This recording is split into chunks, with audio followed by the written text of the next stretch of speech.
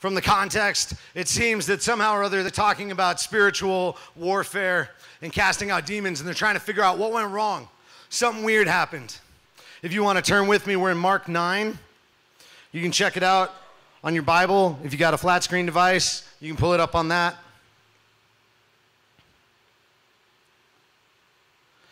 If you need a Bible, throw your hand up. We'll bring you one. We got that on its way. Mark 9, we're in verse 14. When they came to the other disciples, they saw a large crowd around them and the teachers of the law arguing with them. As soon as all the people saw Jesus, they were overwhelmed with wonder and ran to greet him. Now they think not only is the, is the man here the prophet, this Messiah supposedly, but now they walk up and what they're expecting to find is that Jesus is going to be the guy who's going to be able to answer their questions for them, who's going to be able to handle this discussion because it's not going well at the moment. He says, What are you arguing with them about? Here's the thing when Jesus asks a question, just so you know, it's not because he doesn't know the answer, but he wants you to be able to explain the answer. It's kind of like, like all the way back in Genesis 3. Adam and Eve sin, they eat the apple. Well, Eve eats the apple, and then she hands it to Adam. He has some too. And then they go, Dang, we're naked. And they hide. And then God comes walking through the garden. he's like, Hey, Adam, where are you? Like, he knows where they are, like, he wasn't confused about where they'd gone off to. He just, he wants them to admit it. And he's giving them a chance to fess up. And then they, they're kind of idiots about the whole thing. So Jesus asks, not because he doesn't know what they're doing, he already knows this. He's got all this information, he's got the power to fully know exactly what's already happening, but he wants them to explain what they think is the issue. So somebody asks, or somebody says, A man in the crowd answered, Teacher, I brought my son who is possessed by a spirit, demon, who is, is possessed by a spirit that has robbed him of speech. Whenever it seizes him, it throws him to the ground, and he foams at the mouth and gnashes his teeth and becomes rigid. I asked your disciples to drive out the spirit, but they couldn't. Like, this is some serious junk. Like, hey, we, we're, we're followers of that. Like, imagine how this looked. Like, Peter walks up to everybody. He's like, What's up, everybody? Jesus is on his way. Like, because he's always walking around boasting and bragging. He's super stoked that he gets to hang out with Jesus all the time because it makes him look cool. And so he's all pumped. He's blowing it up. And then all of a sudden, some guy walks up and he's like, Where? Where's Jesus? He's like, Oh, he's he's still coming. He's in the next town, but he'll be here in a minute. He just stopped to pray and fast, like out in the wood. Don't worry about it. He'll be here in a little bit. But we showed up early just to prepare the way because that's what we do. We're cool like that. And the guy's like, Oh, that's awesome. You're with Jesus? He's like, Yeah, I'm with Jesus. And he's like, Awesome. My son is possessed by a demon. Fix it. Oh, yeah, no, that's cool. I got this. Um, hold up, I got to stretch. And and they try it and they can't do anything about it. And the kid's like having seizures and throwing himself on fire and like trying to drown himself. He like runs around crazy and then like dives into the lake head first and just sits there. Like the demon like is trying to kill this boy and they like pull him back out and then the little boy's like fighting him off and they can't do anything about it and they're like in the name of our master come out and the demon's like up yours and then, like like no, it doesn't work at all they just get punked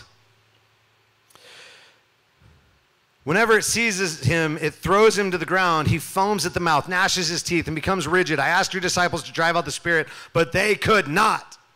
And imagine them all standing there like, yeah, sorry, Jesus, he's right. We tried and we just couldn't do I don't know what happened.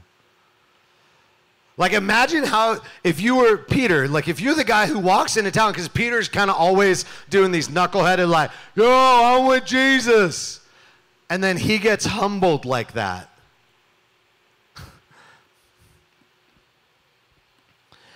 Jesus gets kind of upset. Oh, unbelieving generation, Jesus replied. How long shall I stay with you? How long should I put up with you? Bring me the boy. So they brought him. When the, when the spirit saw Jesus, it immediately threw the boy into a convulsion. He fell to the ground and rolled around, foaming at the mouth. And Jesus asked the boy's father, Jesus doesn't go like, oh my goodness, what am I gonna do? Which is probably what the disciples did. Like they saw that, and Peter's like, I got this. And he's like, cast the demon out of my boy. And he's like, he's probably just sick. It's fine. And then he comes, he's all like, you know, I'm like spitting at him like the exorcist. And, you know, and then Peter's like, oh my, James, you handle it. You got this. James, John, you want to be at his right hand? Deal with it. I can't. But Jesus just looks at him. He's like, oh, wow. How long's he been like that? Just fix it. But Jesus is super calm about it. How long has he been like this? From childhood, he answered. And it's often thrown him into the fire or water to kill him. But if you can do anything, take pity on us and help us. if you can, said Jesus. He quotes it like, like, wait, did you just say, if I could do it to me? Seriously? Like, like I wonder like if everything that's rolling through his head, like in that question is like, you do realize that if I'm who I say I am, I'm the one who said, let there be light, and it started to exist for the first time, right? If I could do this. Like this, in the beginning was the Word, and the Word was with God, and the Word was God. It's Jesus. Everything that was created was made through him, and without, except through him, there was nothing made that was made. Everything was made through Jesus if you can manage to handle this thing, maybe you could help him.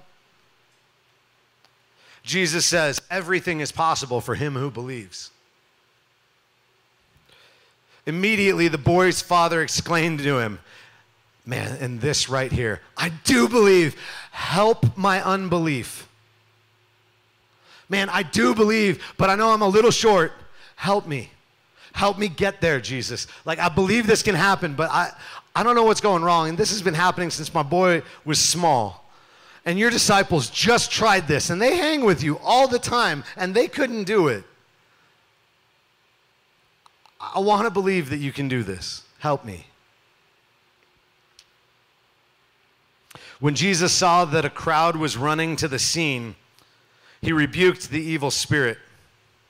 You deaf and mute spirit, he said, I command you, come out of him and never enter him again. The spirit shrieked, convulsed him violently, and came out.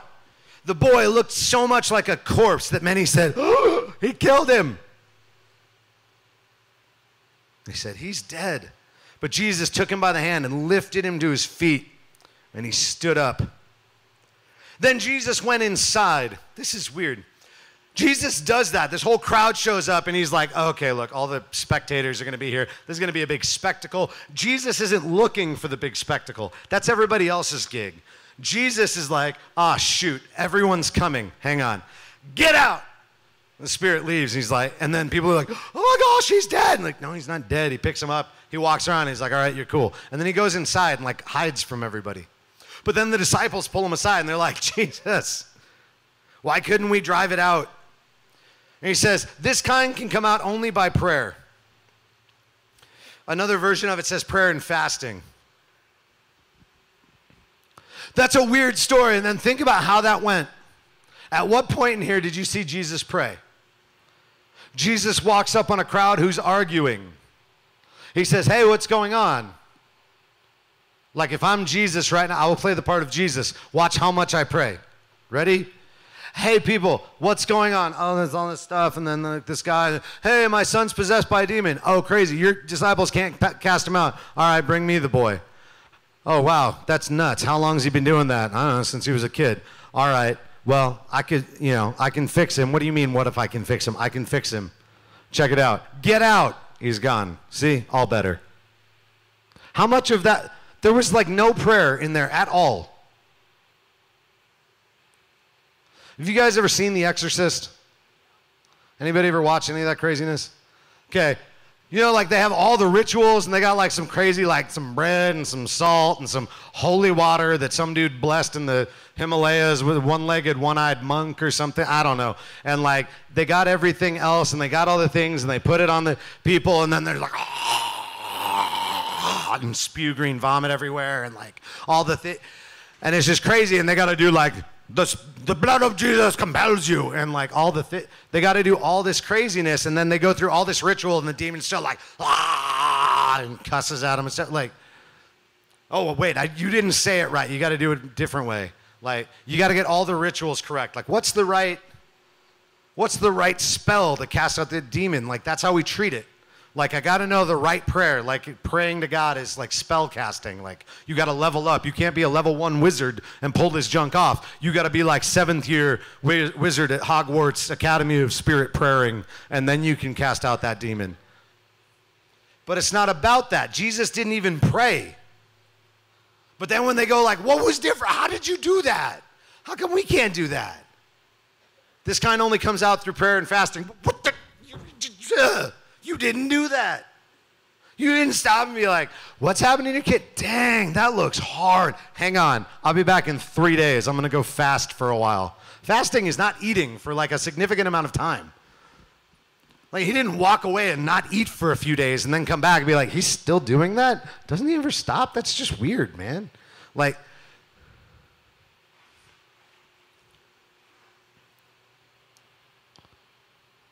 I think Jesus was late to this party, this gathering. The disciples got there first because Jesus has a habit, if you read through the Gospels, Jesus has a habit of wandering off to pray by himself.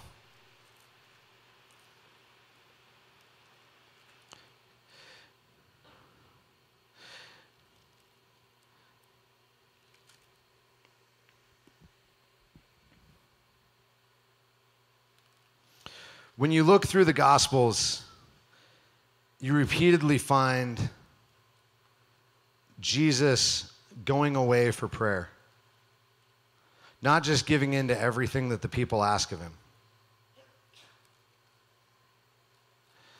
He does amazing miracles and then he leaves.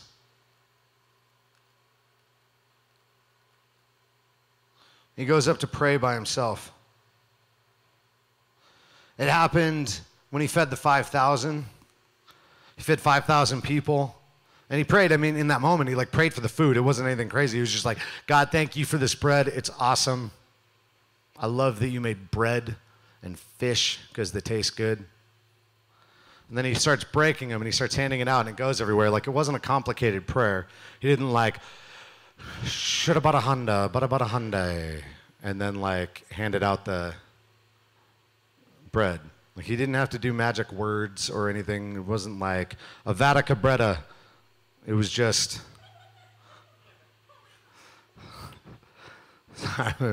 my kids are really into Harry Potter right now, so watching and reading those a lot.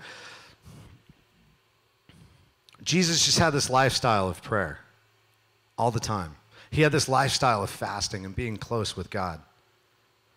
It says that he would do things, then he would pull away from the crowds. Like he wasn't afraid of people. He's it, like I've heard some people try to say like now because like the introvert thing's such a big deal. They're like Jesus was an introvert. Look, he ran away every time there was a crowd. Like no. He hung out. He healed the people. He hung out with these twelve guys all the time. Like he was amongst the people all the time.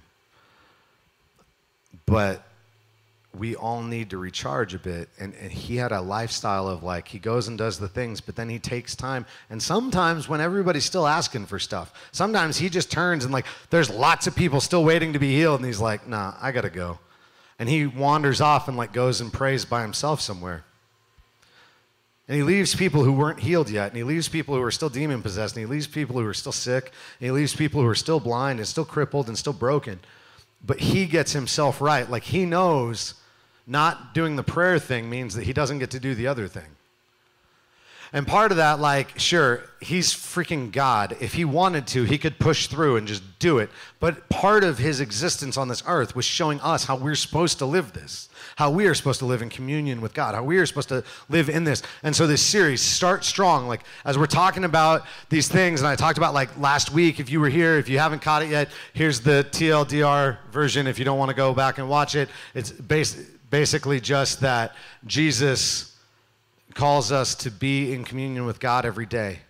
And so today I wanted to talk a little bit about what that looks like because like there's immense power if you are prepared. If you are ready, there's immense power available to you in the Lord. So I want to turn to two, to one thing real quick.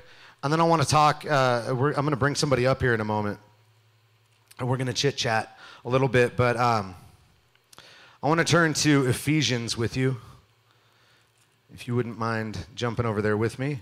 And then uh, turn to Ephesians 6:10. It's the armor of God. Now I know you've probably heard about the armor of God a bunch, but I just want to cover something like, like just picture this for a moment, like the things he uses, right? Like we'll kind of skip skim through it quick. So like he starts talking about this stuff. He says, Be strong in the Lord and in his mighty power. Put on the full armor of God so that you can take your stand against the devil's schemes. For our struggle is not against flesh and blood, but against the rulers, authorities, powers of this dark world, and against spiritual forces of evil in the heavenly realms. Armor is not something you put on to like go hang out and play video games. Like, unless you're LARPing, it's not like fun playtime gear. So, like two people laughed, so a couple of you know what LARPing is, uh, and the rest. LARPing is live-action role-playing. It's like D and D with costumes and like throwing. Like I saw a whole documentary on it, and there was a guy with like weighted handkerchiefs that were like his spells, and he would be, like, "I curse you with fire magic," and he would like throw a red handkerchief at them, and if he hit them, then they like lost hit. I don't know, but so that was the thing. And like I have friends who like go and Cody could explain it to you if you're wondering.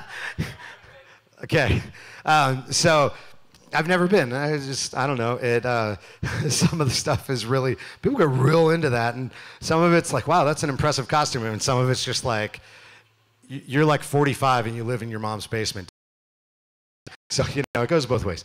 Um, but, uh, but so you put on all this armor to go into battle. There is a battle. There's a battle for your soul. There's a battle going on for the souls around you. The devil is looking to take you out. There are things that you are called to do, but without the proper equipment, you can't do it. And here's the thing about armor like, if I had a full suit of like medieval battle armor, and it's not quite on that level, like he's talking like Roman soldier kind of armor. Like, so if you've ever watched a piece from around like you know, 2,000 years ago, period piece, like some Roman army stuff, or like gladiator, right? Like they got like the toga skirt and everything, but then also they got like some shin guard kind of sandals that are boots, right? And then they got all the things. And so that's that's all the pieces of this it's going to talk about. So it says, put on the full armor of God, so when the day of evil comes, you may be able to stand your ground. It does not say, when the day of evil comes, make sure you have an armor of God that you can throw on real quick. Sure, we can just go with that. Okay. What just happened? I'm super loud now. We could, we could turn that back down. All right. Let's not push buttons anymore. Okay. Um, somebody fell asleep on the soundboard. Whoa. Sorry. Just kidding. I don't know what happened, but it's all right. Thank you, sound people. You're wonderful. Um, I literally can't do this without them because you couldn't hear me. See, um, well, you could you could hear me. I'm loud enough, but it just it's better like this. I don't lose my voice as quick. Okay, so when the day of evil comes, put on the armor of God so that you're ready when the day of evil comes. So that, like Jesus, you walk up and you're like, dang, there's evil.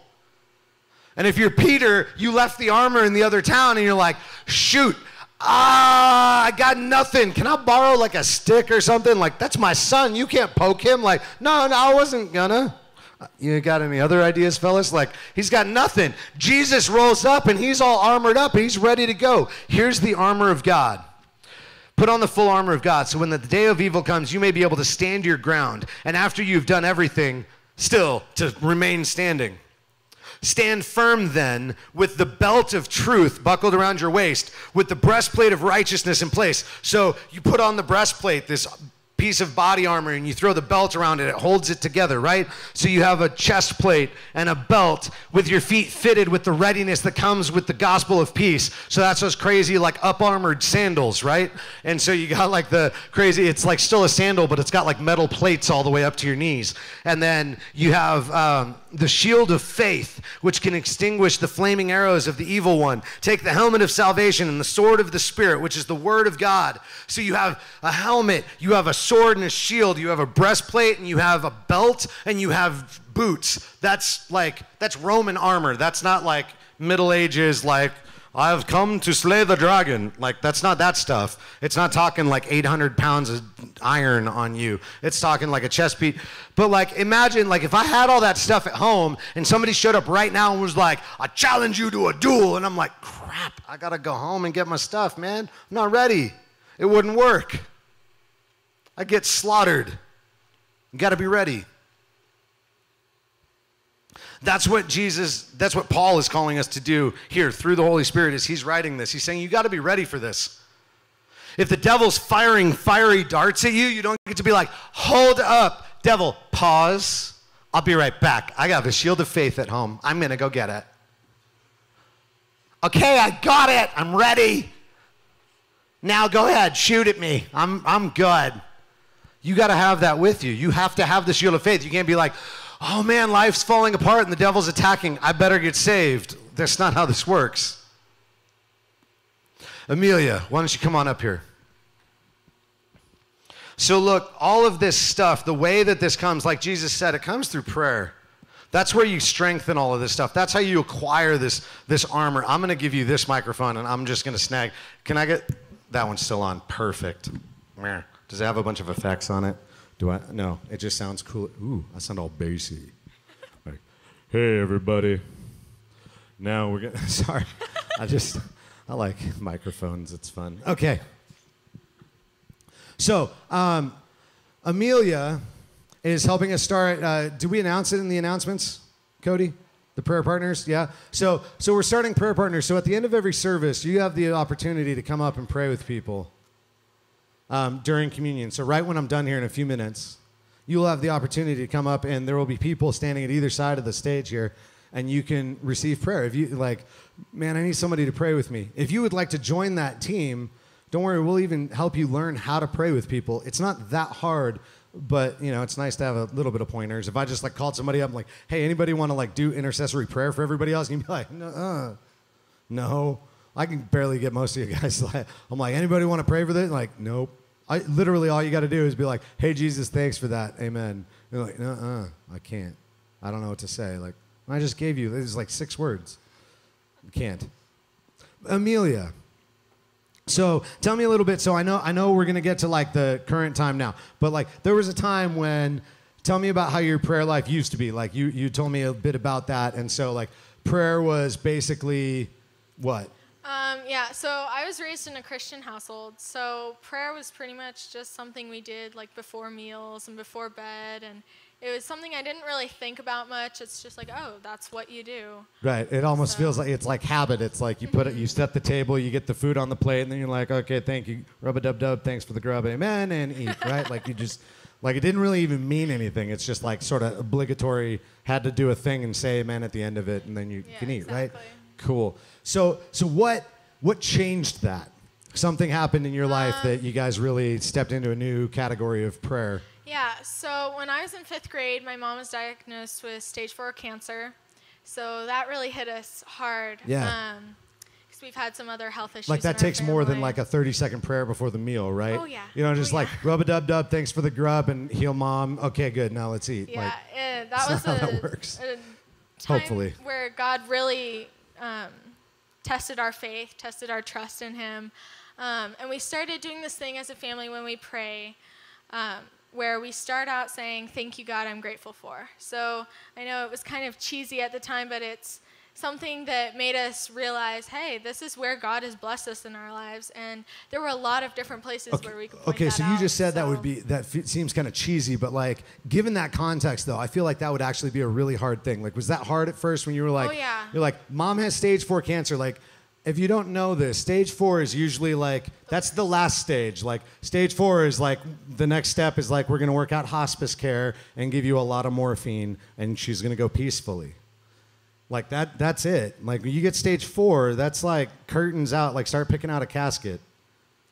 Like it doesn't just come back. You don't just get over that, and so and so that's like some serious stuff, and that's hard. Like dad's a pastor you guys go to Christian schools, you've been raised in a Christian household, you've been going to church forever, and now all of a sudden, like your prayer has to mean something. And to start off with all of that, with all those questions, and then to, to start off with, thank you, God, that seems significant. Yeah, it was really hard because you just wanted to get to the part where it's like, oh, yeah, I'm praying for my mom. Like, God, yeah, we're here. Yeah, we've been faithful. Like, we've been in, in Christian school, in the church. So why is this happening? But to take that time to find where God was blessing us in our lives, like that Yeah. was really something that we needed Awesome. um, to keep our trust in that time. Okay, cool. Yeah. Um, so, So then, so what? Uh, so what would you say your prayer life looks like? That like, do you still pray before meals in bed, and then like, how has that changed your kind of daily routine of prayer? Yeah. So um, realizing what prayer was was something that really changed um, my focus on prayer because like you're talking to God, you're talking to the Creator of the universe, who has all powerful and all sufficient. Like He's That's always kind of a big there. conversation, probably. So yeah, um, just You're not just like, "What's up, man?" right? Yeah, realizing that it's not just like, oh, thank you, amen. Like, that's really what changed it, and that you can do it anytime. It's not like, oh, I have to wait till meal time to pray for mom, or I have to wait till I go to bed to pray for mom. But Mm. realizing that at any time, God's there listening, and Okay. He cares about you. So knowing So- that, knowing that you're a teenager, Mm-hmm. and that like you know, there's high school, there's which comes with quite a bit of homework, right? And you do fairly well in school, right? So like you get your work done, and so there's a lot of that. You have friends, you hang out with friends and stuff. You do extracurricular things and all of that. So where do you find time to like pray, read your Bible, that kind of thing? Like how do you make that part of it? Yeah, so this is something I kind of struggled with for a while. I was I was just too overwhelmed with everything else, but I think it's uh, you have to make the time for it. Um, and the so time, where did you make time? time where I found was in the mornings, just when I wake up, because I felt like when you wake up, like most of the time, you like grab your phone, you want to check the feed, you want to get ready for school and stuff, but um, I started waking up praying, waking up reading the Bible on a daily basis, and that really changes your lifestyle. Even even though it might just seem like oh, reading in the morning, like it comes to you throughout the day, and Absolutely. um, the way you start off your day is the way your day goes, pretty much. So Yeah, awesome, cool. So, um, so part of that, uh, part of the reason I, I wanted to bring Amelia up is like, like I don't like what what she's saying there. Like it doesn't sound that hard, right? Like it sounds like something you can manage. Um, but but the heart that how Amelia said like that's kind of transformed her a lot. Like she came to us with kind of this idea of like, hey, I'd like to, you know, do that. Like, I really want to do this thing. And she's been really driving this prayer partners ministry um, forward in in student ministries. And so I'm really excited to open that up. But like, it's not me going like, please, for the love of God, I need a teenager who did. Like, she was just like, yeah, I'd love to do that. And okay, so I worked up all the things. Like here's so if you sign up and like you see the sheet and everything, like that's a lot of stuff that Amelia took the one for the adults and like worked it over for us, and it's awesome. And and she's gonna be leading that up for us. And she's just taking that step, that next step of going like, I've built more and more of my life around prayer. And now I want to be able to share that with others as well and use that as a ministry tool, not just as some way to be close to Jesus and feel good about myself. And so, so, so she's going to be doing that. So aw- awesome. I'll take that back. And then thank you so much, Amelia. She'll be right up here if you want to, if you need to pray. Uh, I'm going to switch mics again. Okay. So she'll be up here if you want to, if you want to pray uh, at the end of service. But so I want to, I want to wrap that up with just a, um, a really simple uh, call from Scripture, Matthew 6. Um, Jesus talks about uh, how to pray. And he- he's talking about like things to do, things not to do. And he says, don't try to be flashy. Like, don't try to be impressive. Don't worry about trying to pray to make everybody super impressed with who you are. That's not what this is about. Start with the basics. Don't try to go all big either. Like I read a, um, I read a biography of this really famous preacher about like what his week looks like, and this dude preached like four or five times a week, and he wrote each of those sermons the day he preached it, but he spent like five six hours prepping it, and like three of those hours were just prayer and study, like just straight up, just like on his knees praying and reading the Bible, and like dude, that's crazy. Like, I don't have that kind of time in my life, and I'm a pastor. I do this full time. There's no way you guys have time for that. So if I said like, okay, here's what it's going to take. You got to read the entire book of Leviticus every morning and, you know, you've got to pray like 800 things and do, you know, 5 million Our Fathers and 800 Hail Marys or you're not going to be holy. Like first of all, the type of prayer you do is not that important. It's more about you aligning your heart with God, seeking God's will, and, and opening up your ears, shutting up long enough to hear from Him. So we're going to talk about some other ways, like some some different kind of creative ways, how to get into stuff that's individual next week, and then the following week we'll talk about how to do it in community with others. Uh, but today I just want to start with the basics: reading your Bible and praying, and every other aspect of spiritual discipline. How do you start strong for the year? Develop these disciplines. Get into a habit, like Amelia said just wake up in the morning and open your Bible, even if it's just a few minutes. Just open it up, but don't do it without praying. Don't just read it and be like, okay, my eyes scan the page for 10 minutes. I must be good. But pray for a minute and just be like, God, just show me how my life should be different. Shape me through this. Just that prayer right there, just that simple thing. Isn't that simple? Like you could all manage that. You open up your Bible, you go, God, shape me through what I read. And then read it and just see what it starts to say to you. And then when you see something profound, don't just turn and like say a bunch of stuff. Just be like, wow, God, what do you want that to say? What do you want to say to me through this? Ask and just listen. If you need help on what to pray, Matthew 6, verses 9 through 13. Real simple. It's the Lord's Prayer. Our Father in heaven, hallowed be your name. Your kingdom come, your will be done on earth as it is in heaven. Give us this day our daily bread. Forgive us our sins as we have sinned, as we forgive those who sin against us. Lead us not into temptation, but deliver us from the evil one. Just that, just simple. Praise God a little bit. Seek his kingdom here on this earth. Be part of that. Ask where you fit into that. Seek what you need, not just everything you want. But God, give me my bread just so I can get through the day. Start small, start easy. Go from there. Open up Matthew 6, look at that, and just try and put each line into your own words. And just pray that from your heart. God, you're pretty awesome. I know I don't always live right, but man, I want to see your kingdom do great things on this earth because I think it's better than what's going on here right now. I pray that you give me enough to get through the day so that I can live for you. Forgive me. I'm pretty bad at forgiving other people. But I know they, did, they don't deserve my grudge if you can forgive everything I've ever done.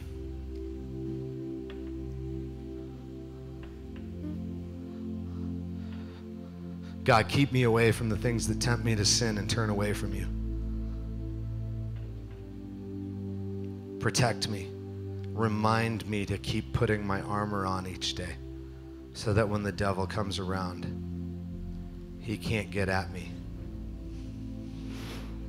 Give me your righteousness over me. Give me that truth around me to hold me together. Give me the peace. Let me stand in peace, not turmoil and strife. Bring your gospel to mind so I remember the peace that it brings. Bring salvation to cover my mind and know that I am saved no matter what's going on.